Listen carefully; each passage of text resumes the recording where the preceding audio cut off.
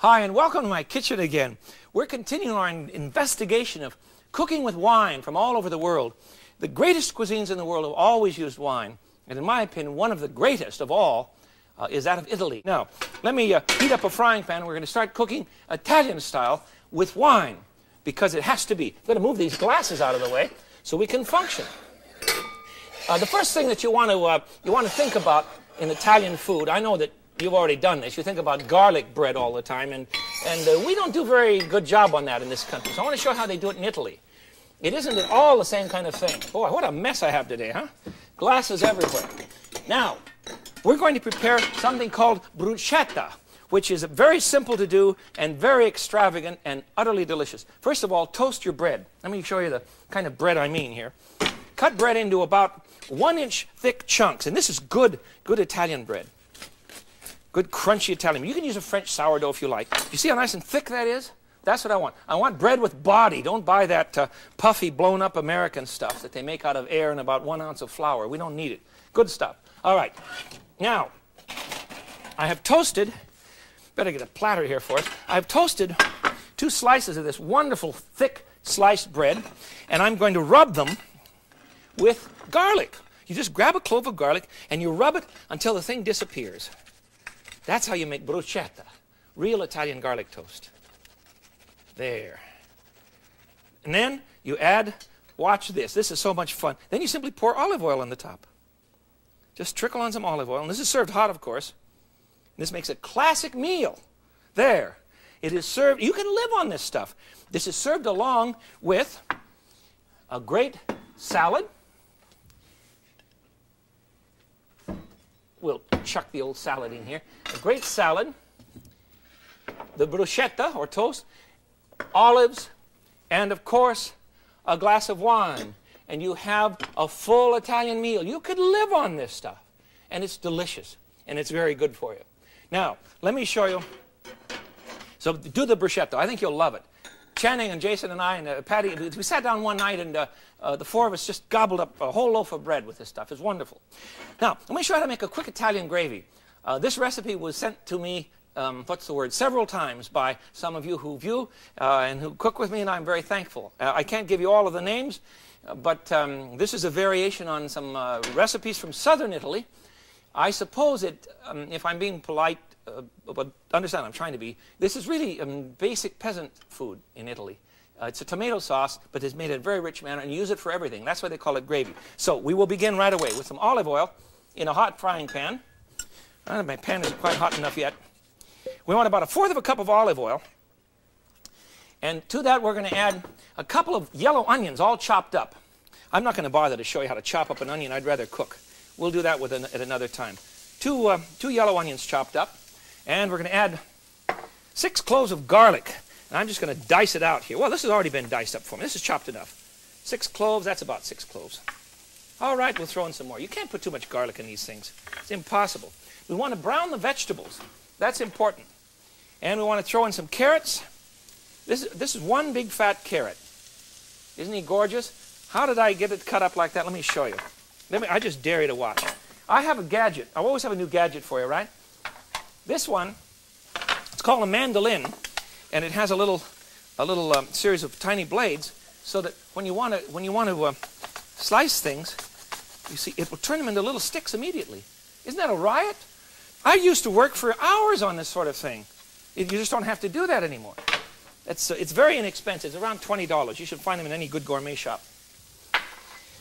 And let's see, I've forgotten something. Um, celery. I want to put in some celery. And I'm going to chop up the whole works on a celery head, or celery leaf. Excuse me, there was an argument with one of you in a letter. The, Madam, this is not, uh, this is not a stalk of celery. This is a rib. The whole head is called a stalk. The stalk is not called a head. At least that's what my produce man tells me, and I'm going to stand by him. So I'm... Keep writing, though. I'm not going to turn you down. It was very interesting. She was very adamant. She said, you should know better than to call that a, that a stalk. Well, it isn't a stock, It's a rib. I'm not going to call it a stock. There. A little bit more. Anyhow, we want a good stock of celery or two. Let's try two, huh? Two stalks of celery into a very hot frying pan, the olive oil, the garlic. we're going to saute that until it's brown. Now, I don't have time to do that because I want to cook with you. So we'll just continue and we'll go on with the rest of our of our um, vision here. I need a kettle. Well, now, while that's cooking, we'll put together. Isn't this wild? These kettles. I'm going to be cooking in stainless steel, and I've told you that I hate stainless steel because they're always so thin. But they're bringing these in from Italy now, uh, and it's called um, what's the name? Called Centurion, and it has it has a jacket of aluminum inside the bottom, so that uh, it will keep things um, from burning for you. And I warn you, this stuff's very expensive. But again, I, I tell you over and over again, don't buy cheap cooking gear because you're going to have to keep replacing it. Thin stainless steel pans, even if they're electroplated with copper in the bottom, are still going to burn on you. Uh, this will not. It's a good thing. All right, I want to put into my kettle here. We'll begin with the tomato uh, puree. Now, if you don't have a if you don't have access to a puree, just buy a 28 ounce can of um, of uh, tomatoes and uh, canned tomatoes and run them through the uh, food blender or the food processor. So let's begin. Notice I'm using a wooden spoon. I don't want anyone to bang on the edge of my good pots with a metal spoon. Nobody. There. One can of tomato paste, that's a six ounce can, and two, well, I've got these all over the place, two 28 ounce cans of tomato puree. And so far, this looks to you just like a, a batch of normal tomato sauce, but it's not. It's going to be very rich, and then we're going to use it for all sorts of wonderful things. Italian gravy. This is common in Sicily. It's common in, uh, in, the, in the southern regions, you see. Wonderful stuff.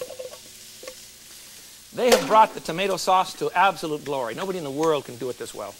Or better, I should say. Now we want to add one quart of beef stock. Now you remember that I've made this myself. You can use canned bouillon if you like, but I would prefer that you use a good beef stock that you've, that you've made from scratch. Now, two cups of wine. I'm using red wine. And please note that my pitcher is a gimmick to disguise the fact that, I, that I'm using jug wine. Good red jug. It says in vino, in vino veritas. That's Latin. You know, this is Italian show today. Latin for in wine there is truth. Do you believe that? In vino veritas? The Jews say it differently. I'm adding two cups. There. The Jews don't say en vino veritas. They say, uh, little wine goes in, little truth comes out. uh, that one I know to be true. Absolutely. There. All right, the vegetables are just about finished here. So we'll continue now with, um, uh, let's see, what else do we need? The parsley. We'll throw that right in the kettle. Half a cup of chopped parsley. Oh, about a, about a half pound of mushrooms. And I've just kind of quickly sliced these up. Nice fresh. Aren't they gorgeous? Why not throw the whole one in there? See who wins. Who gets a, whoever gets a whole mushroom gets a prize, huh? And we'll add our vegetables now. There. You see when, they, when they're sauteed, you see the, the, the sugar that is browned on them? The sugar is um, natural in carrots and celery, and we want to uh, bring that sugar out. It makes a wonderful flavor. And it, it really makes a, a, great difference in your cooking. What else do we need? Oh, now we have a whole series of herbs that we want to put in this. And we have, uh, I just measured these out so we don't have to stand here and play with the jar. I have a half teaspoon of red pepper flakes, crushed red pepper flakes, a tablespoon of oregano, a teaspoon of rosemary, two bay leaves, a tablespoon of basil, two whole cloves, and now you're going to say, that wasn't a tablespoon of oregano. You're right, it certainly wasn't. Well, it's supposed to be. He put in a teaspoon for me. Someone else was helping me that. But all this goes in the pot now. The oregano, red pepper flakes, rosemary, bay leaves, two whole cloves, right into the pot. And now then we'll add to that some black pepper, crushed black pepper. Please uh, add, add quite a shot. Uh, I'm going to put in a good half tablespoon. Good heavens. Well, and I've crossed, just, just ground this in my Turkish coffee grinder. Did you see me use this before? It works great. I just love the thing. Now, to that we will add a bit of salt, probably a couple of tablespoons because you do really do have a large kettle here. It's going to cook for a while. And then we're going to add just a pinch of sugar, uh, approximately one teaspoon. There. Now, the, the, the deal here is what we're going to do next. And that's to add some pork neck bones pork, about a half pound of pork neck bones and about a half pound of chicken scraps. And I have some necks here. Those are both very inexpensive. You shouldn't pay any more than 49 or 59 cents a pound for either of those. Cover this and simmer it now for two hours. And let me show you what you get. Very close to heaven. I'll get this one out of the way because obviously I have one already prepared for you. Ah, let's see how it looks. Are you ready? Well, I'm ready. Here is the pot. Oh, this is so delicious. This is so delicious. It is so rich that I can't believe it. Now, let's try to use this properly in a dish. You can use it just like this, of course, on pasta. Uh, it's very rich because you, you've cooked uh, the, the pork and the chicken together for two hours. Take those pieces out, by the way. You don't want to serve them. Uh, they're pretty um, exhausted. You know, they're pretty worn out after cooking for two hours. They've flavored, uh, they've done what they're supposed to do. So you can get rid of them, feed them to the cat, or um, um, let them sit for a bit and eat a private lunch just for you.